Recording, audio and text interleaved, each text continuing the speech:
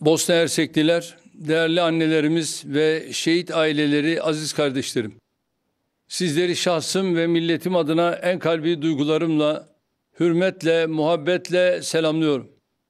Kısa bir zaman önce idrak ettiğimiz Kurban Bayramınızı tebrik ediyor.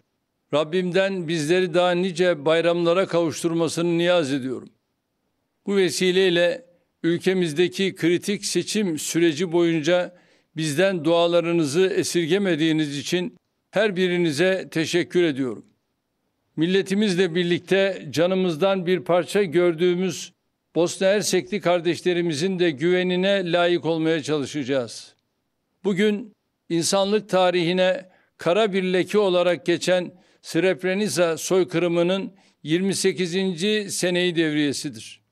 Bu matem günümüzde şehitlerimizin kederli ailelerine ve tüm boşnak kardeşlerimize bir kez daha en içten taziyelerimi sunuyorum. Merhum Ali Yan'ın ne yaparsanız yapın ama soykırımı unutmayın. Çünkü unutulan soykırım tekrarlanır sözündeki hikmeti ve acı gerçeği aklımızdan çıkarmıyoruz. Bir daha benzer vahşetler yaşamamak için Srebrenica'yı asla unutmayacağız ve unutturmayacağız. Tüm dünyanın gözleri önünde Srebrenica'da işlenen soykırımın yüreklerimizde açtığı yara 28 yıldır kanamaya devam ediyor. Defnettiğimiz her bir şehidimizle o günleri bir daha yaşıyor, bir daha hatırlıyor, gözyaşlarımızı bir kez daha içimize akıtıyoruz. Bugün 30 şehidimizi daha ebedi istirahatgahlarına uğurlayacağız. Şehitlerimizin ruhları şad, mekanları cennet olsun. Rabbim tüm şehitlerimizi cennetiyle, cemaliyle müşerref eylesin.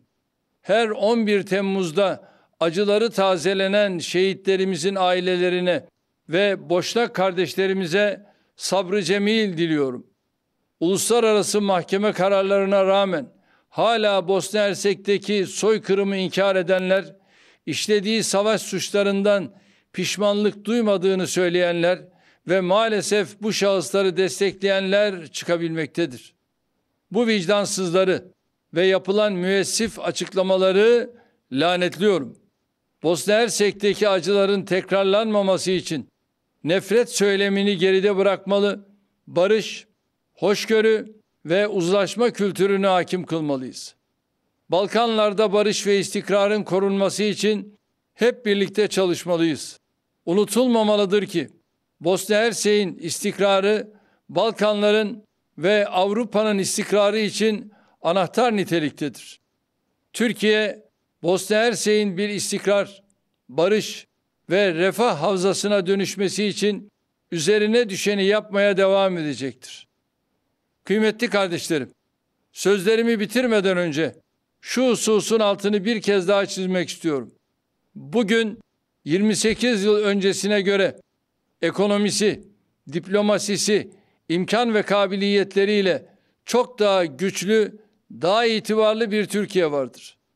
Ülke olarak burada yaşanan acıların tekrarına asla izin vermeyeceğiz. Bosna Hersek'in bağımsızlığını, egemenliğini ve toprak bütünlüğünü daima gözeteceğiz. Sizlerden gönüllerinizi ferah tutmanızı bekliyorum. Bu düşüncelerle sözlerime son verirken Srebrenica şehitlerimize Allah'tan rahmet diliyor. Aziz hatıraları önünde saygıyla eğiliyorum. Allah'a emanet olun.